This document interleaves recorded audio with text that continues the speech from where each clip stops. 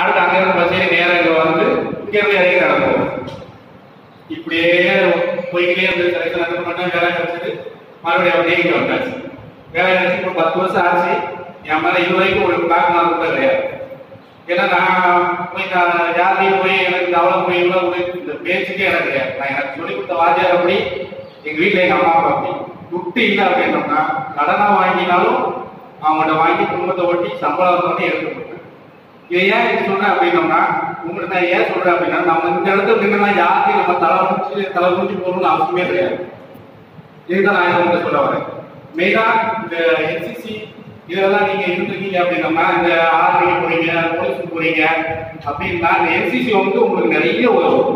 இப்ப என்னோட நான் செலக்ஷன் மூலமா நானூத்தி பேர். அந்த நானூத்தி ஐம்பது பேர்ல என்சிசி முடிச்சு வந்தது எங்க? ஒரு இருபத்தஞ்சு பேர் அந்த படம் பார்த்துருப்பீங்க நினைக்கிறேன்.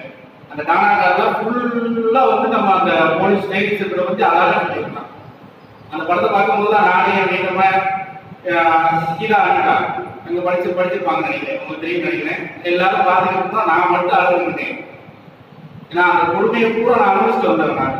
நானூத்தம்பது பேர் அவன் சொன்ன நான் கொஞ்சம் அது மாடிஃபை பண்ணியிருக்கிறான். இருந்தாலும் நூற்றுக்கு தொண்ணூறு சதவீதம் உண்மைதான்.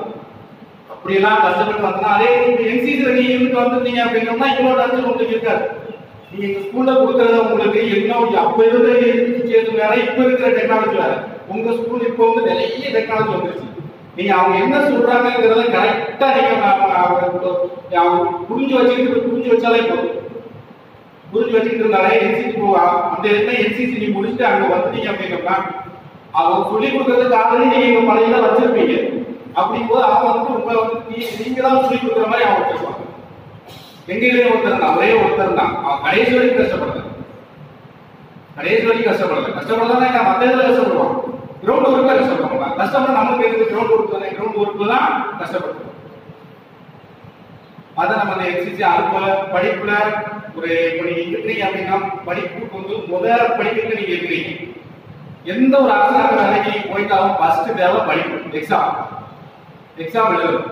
அந்த எக்ஸாம் எழுதி பாஸ் ஆனதுக்கு என்ன படிப்பு எழுதணும். நான் எக்ஸாம் எழுதும்போது மூணு மாசம் அந்த கிளாஸுக்கு போயிருந்தேன். மூணு மாசம் உட்காந்து உட்காந்து படிச்சதுல நான் எழுதின கொஸ்டின்ல ஒரு மார்க் கூட அதுல அதுல இருந்து கேட்கறேன் ஒரு மார்க் கூட கேட்கல. எல்லாமே நானா எழுது அப்ப நான் எங்க இருந்து நான் படிச்சேன்? இந்த கிலோமீட்டர் ஸ்கூல்ல தான். அப்போ எனக்கு சொல்லிக் கொடுத்தது யாரு? என்னுடைய ஆசிரியர். அவங்க அவங்க இதனாலதான் நான் படிச்சு நான்